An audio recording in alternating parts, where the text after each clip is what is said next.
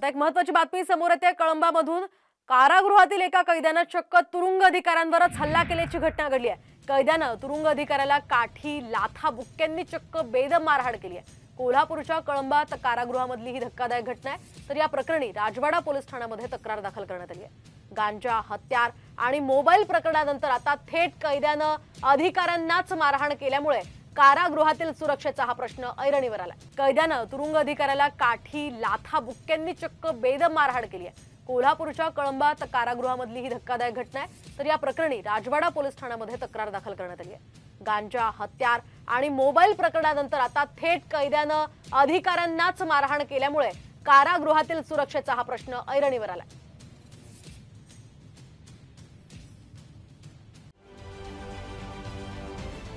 महाराष्ट्रातील सर्व बातम्यांचे विश्वासार्ह व्यासपीठ.